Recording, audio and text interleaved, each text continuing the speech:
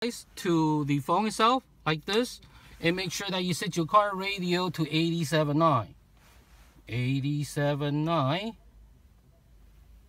and then you're ready to go. So find the music that you want to hear and hit play and then turn it up.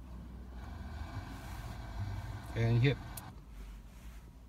play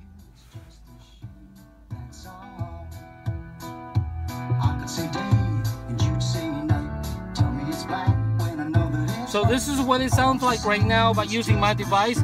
You're able to connect to play music, to stream music uh, from the Pixel phone to the car radio. Connect back in and hit play. And you can use the volume to make it louder.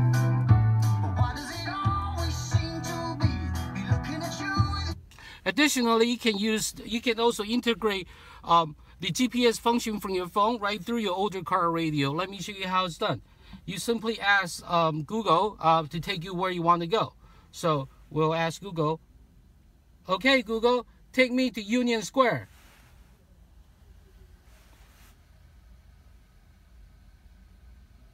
Okay, Union Square. Here we go. So you can hear that the, the instruction actually come through the car speakers.